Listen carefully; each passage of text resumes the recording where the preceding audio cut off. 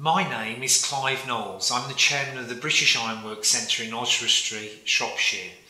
We're involved in supporting all the police forces, all 43 police forces throughout the UK, in partnership with the Home Office, in supporting you with knife banks and amnesty banks. We need you to get in touch with us uh, with, with regards to whatever uh, knife amnesty banks or knife bins that you require in order to facilitate your knife amnesties in all of those 43 areas.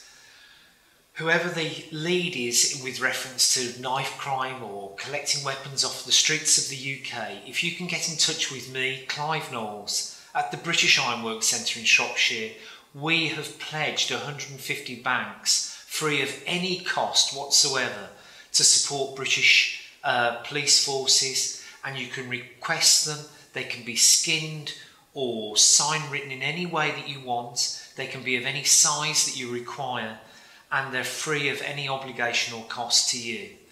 Would you please get in touch with me on 01691 610 952 and we're here to help you. Thank you.